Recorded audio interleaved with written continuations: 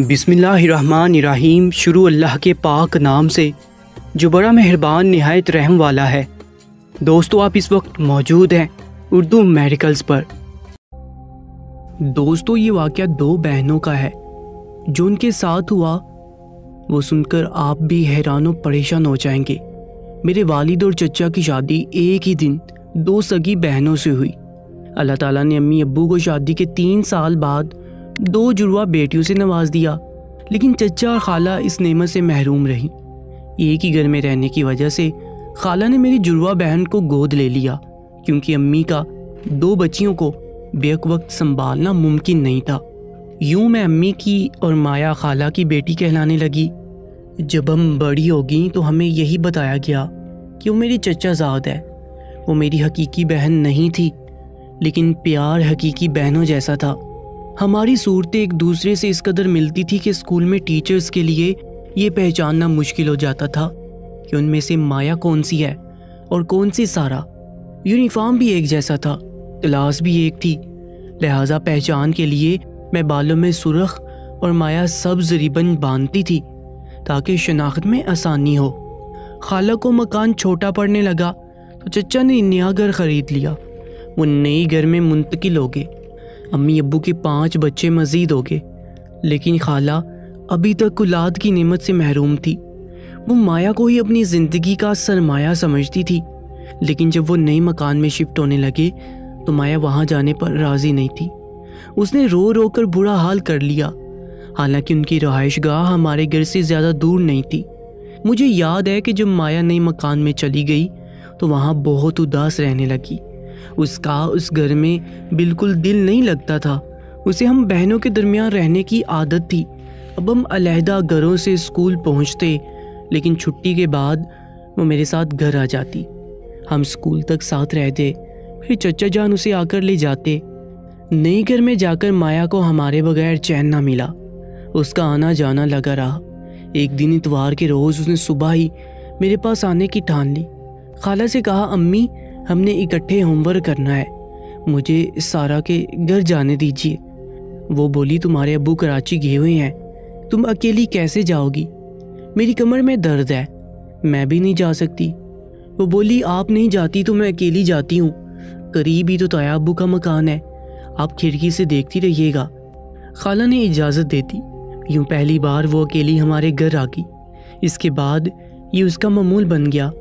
जब जी चाहता मैदान पार करके हमारे घर आ जाती, उसके घर से थोड़ा सा आगे छोटी सी स्टेशनरी की दुकान थी, जहाँ से वो रिसाले, कापियाँ, पेंसिलें वगैरह लिया करती थी। जब कोई रिसाला मंगवाना होता था तो एक दिन पहले ही उसे बता देती कि जब आओ तो लेती आना। ये दुकान रास्ते में पड़ती थी, आए दिन ज़रूरत की चीज़ें लेने वहाँ पहुँच जाती। इस तरह वो एक लड़के की नज़रों में आ गई, जो अक्सर वहाँ बैठा होता। हम दोनों उन दिनों नवी में पढ़ती थी। एक रोज़ वो आई तो बोली, सारा, एक बात कहनी है। अगर कुछ मुझे हो जाए तो मेरी माँ की बेटी बन जाना, उन्हीं के पास रहना। ये क्या बकवास है? मैंने कहा, तुम्हें कुछ नहीं होने दूँगी। और मुझे वादा करने की क्या ज़रूरत है? ऐसा वैसा कुछ होगा तो वादा करूँगी ना? मुझे कुछ उदास ही लगी। मैं सोच में पड़ गई न जाने उसे ऐसा ख्याल क्यों आया था। मैंने उसका दिल रखने के लिए वादा कर लिया। इस वाक्य की एक माह बाद वो हुआ जिसका किसी को गुमान नहीं था। ये जुम्मा का दिन था। चचा दुकान पर थे। खाला जी घर में कामकाज में मगन थी। माया आज स्कूल ना आई। हमारी छुट्टी जुम्मा के दिन जल्दी हो जाया करती थी। उसने खाला से कहा, अम्मी, मुझे सारा के घर जाना है। स्कूल का काम पूछूँगी। वो जानती थी कि ये लड़की रुकने वाली नहीं। उन्होंने कहा, ठीक है, ध्यान से जाना। तुम्हारा ये रोज़ रोज़ अकेले जाना मुझे ड्राई रखता है। उस दोपहर हम सब चाय पी रहे थे। कि अचानक फ़ोन की घंटी बजी। वाली साहब घर पर थे। वो जुमा की नमाज़ पढ़कर अभी घर आए थे। उन्होंने फ़ोन उठा लिया। चचा जान कह रहे थे कि मैं दुकान से रवाना हो गया हूँ। किसी ने फ़ोन किया है कि कोई सानिया हो गया है। जल्दी घर पहुँचो। फ़ोन सुनकर वाली साहब सख्ते में आ गए उन्होंने फ़ौरन गाड़ी निकाली। मुझे साथ बिठाया और चचा के घर आए। दरवाजे पर लोग जमा थे। पुलिस भी मौजूद थी। कुछ समझ ही नहीं आ रहा था कि क्या हुआ, किसी ने हजूम में रास्ता बनाया। अम्मी और मुझे घर के अंदर ले गए। खाला बेहोश पड़ी थी। उनके पास कुछ पड़ोसी औरतें बैठी हुई थी, जो उनके पाँव सहला रही थी। वाली साहब बाहर ही रुक गए। नमाज़ जुम्मा के वक्त ज़िद्द करके माया घर से निकली थी। उस वक्त मैदान बिल्कुल सुनसान था। इलाके के मकीन जुम्मा की नमाज़ की खातिर मस्जिद में मसरूफ़ थे। जब वो मैदान में मौजूद खारदार जारियों के पास से गुजर कर जा रही थी तो जारियों की ओट में से किसी ने उसके साथ दस्त दराजी की कोशिश की। जब उसने मुजाहमत की तो उसका गला दबा दिया। जब वो उसे घसीट रहे थे तो माया का दुबट्टा बाहर वाली जाड़ी में उलझ कर वहीं रह गया। शाम से पहले वहाँ से किसी का गुजर हुआ। उसे दुबट्टा देखा तो नज़दीक जाकर गाड़ी में झांका वहाँ माया औंधे मुँह गिरी नज़र आई, जिसका लिबास फटा हुआ था। उस शख्स ने पुलिस को इतला की। पुलिस वहाँ पहुँच गई। उस शख्स ने रहनुमाई की कि ये लड़की अक्सर स्टेशनरी की दुकान के सामने से गुजरती थी। कभी कभी दुकान से ख़रीदारी भी करती थी। और ये फलां साहिब की बेटी है। इतला देने वाले शख्स का नाम साजिद था। उसकी चचा से सलाम दुआ थी। ये किताबों की दुकान में सेल्समैन के तौर पर मुलाजिम था। चचा का पड़ोसी भी था। उसी ने उनका नंबर पुलिस को दिया था। यूँ उन्होंने फ़ोन करके इतला कर दी। खाला का ये हाल के होश आया तो पत्थर की मूरत बन गई। हम भी काफ़ी दिनों तक सदमे से निडाल रहे। खाला को घर ले आए, क्योंकि अब वो अकेले रहने के काबिल नहीं थी। डेढ़ माह बाद जब अपने घर जाने लगी, अम्मी ने मुझे ये कहकर साकित कर दिया कि कुछ दिन तुम उनके पास रहो, वरना वो माया के लिए रो रो कर जान दे देगी। तभी मुझे माया का कहा हुआ वादा याद आया कि अगर मुझे कुछ हो गया तो तुम अम्मी के पास रहोगी। गोया कोई उसके पीछे लगा हुआ था। उसे खशा था कि कुछ होने वाला है। ताहम नादान ने मज़ीद कुछ नहीं बताया कि कहीं उसका हमारे यहाँ आना रोक ना दिया जाए। माया को शुरू से ही खुद पर इतमाद था। वो एक नडर लड़की तो थी, मगर माशरे में लड़की को हमेशा कमज़ोर समझा जाता है। वो अपनी हर बात मुझे बता दिया करती थी। सद अफसोस कि अपनी इस खौफ से आगाह ना किया। जो आखिरी वक्त उसके दिल में था वरना वो ये क्यों कहती अगर मुझे कुछ हो जाए? ये बात मैं आज तक सोचती हूँ तो अफसोस की अतः गहराइयों में डूब जाती हूँ। बहरहाल वो सफाक इंसान गिरफ़्तार ना हो सका, जिसने माया पर ऐसा जुल्म डाया था। वो एक कमसन फूल जैसी लड़की को हला कर चुका था। बावजूद सुराग लगाने के पुलिस कोई पता ना लगा सकी। यहाँ तक कि दो माह गुजर गए, मैं अभी तक खाला के पास थी। मुझे माया की इस दुनिया से चले जाने का इस कदर मलाल था। जैसे मेरी भी रूह उसके साथ ही निकल गई हो। मैं जानती थी कि वो खाला की ले पालिक, मगर मेरी सगी बहन है। वो और मैं इस दुनिया में इकट्ठे आए थे। काश हम इकट्ठे ही इस दुनिया से जाते, लेकिन अल्लाह की मर्ज़ी और मसलहत के वो चली गई। मगर मैं अभी ज़िंदा थी। वक्त हर ज़ख्म को मुंदमिल कर देता है।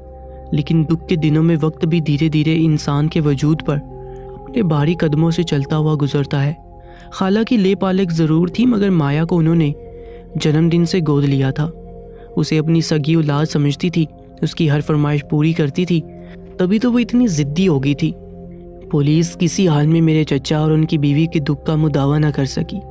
ये दुख उस वक्त सवा हो जाता है जब कातिल गिरफ़्तार ना हो। एक दिन मैंने अखबार में एक मजमून पढ़ा, जो जुराइम के बारे में था, लिखा था, हमारे यहाँ बरसों से पुलिस का यही तरीका चला आ रहा है। मशकूक लोगों को पकड़ा, मारपीट की, इस तरह असल मुजरिम हाथ आ गया तो ठीक, वरना किसी बेगुनाह को फंसा दिया। बिरोन मुल्क दीगर तरीके भी मुजरिम तक पहुँचने के लिए बुरे कार लाए जाते हैं। वहाँ एक बहुत पुराना ख्याल ये भी है कि कातिल जाए वारदात के आसपास भटकता रहता है।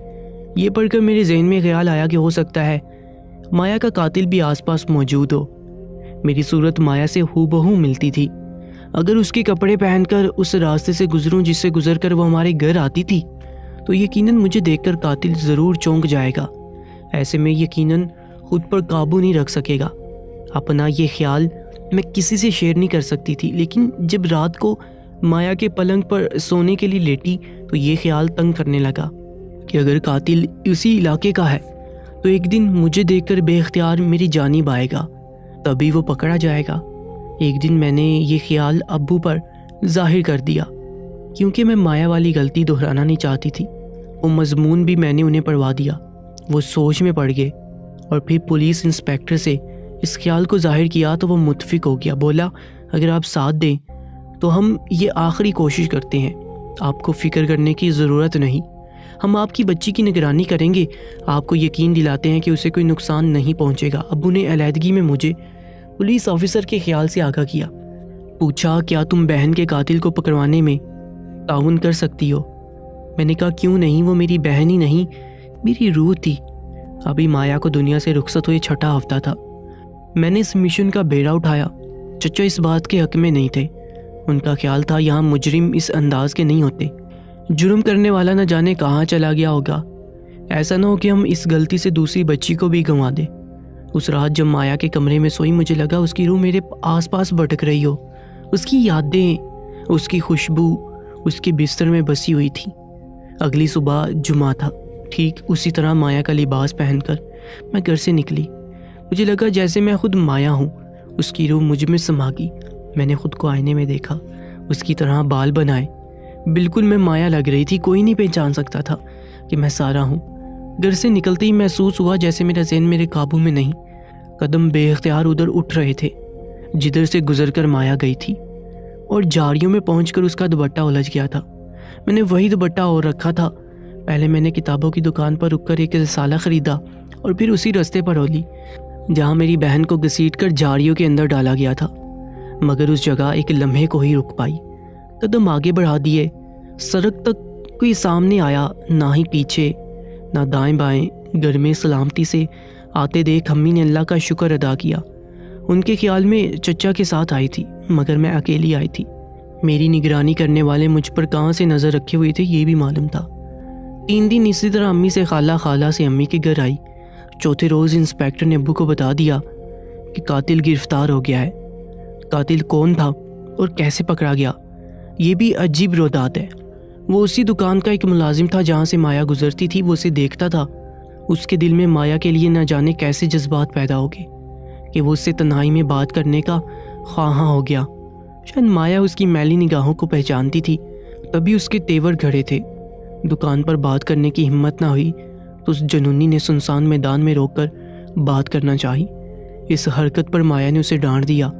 शायद इसी वजह से माया ने मुझसे वादा लिया था माया के कत्ल हो जाने के बाद मुझे दुकान से गुजरते देखकर वो शख्स हैरत ज़दा रह गया कि माया तो मर चुकी है। दूसरी माया कहाँ से आ गई? बेशक वो चौंक गया था, मगर मुझसे कलाम की हिम्मत उसमें ना थी। चौथे रोज़ जब मैंने दुकान में जाकर रसाला ख़रीदा, तब उससे रहा नहीं गया, क्योंकि मेरी आवाज़ बिल्कुल मेरी जुड़वा बहन जैसी थी।